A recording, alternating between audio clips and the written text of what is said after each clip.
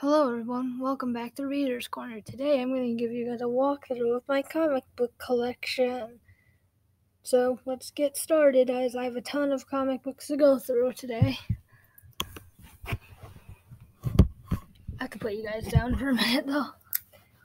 The first comic books are actually from the library. It's Miss Marvel, if you can see the title here. Miss Marvel. You could say blank. That's the point. And I'm going to move Miss Marvel and Miss Marvel Generation Why. This one I still haven't started yet. I hope I can start it tonight. Then I have Batman in the 80s. This is a good one. I have not read this one yet either. But the art style is very like old fashioned in this comic. That's why I want to read it. This one I got from my older sister, who I'm not going to name, but I got it from my older sister. It's a Batman comic book. So, yeah.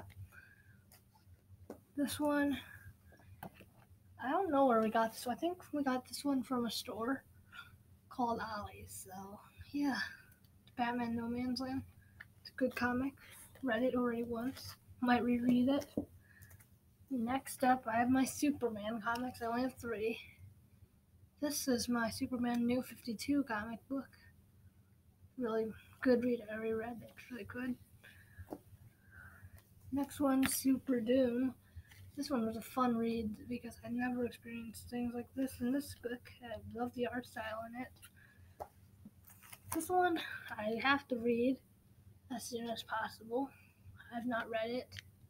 So, yeah. Then this one was great. Here's some of the art in the comic book. This is why I love this comic. So, and then I have my whole Supergirl collection of comics here. This one you can hardly see, but it's still in the bind up because I don't want to take it out. So I have that one. I have this one, Superman Reborn. I have this one. Um, what's still called? Oh, Escape from the Phantom Zone. The eyes of the galaxy upon them.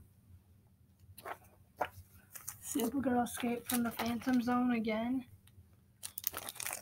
Supergirl being super. This is a big one. I have not read any of these before. I have Supergirl DC Rebirth. Supergirl.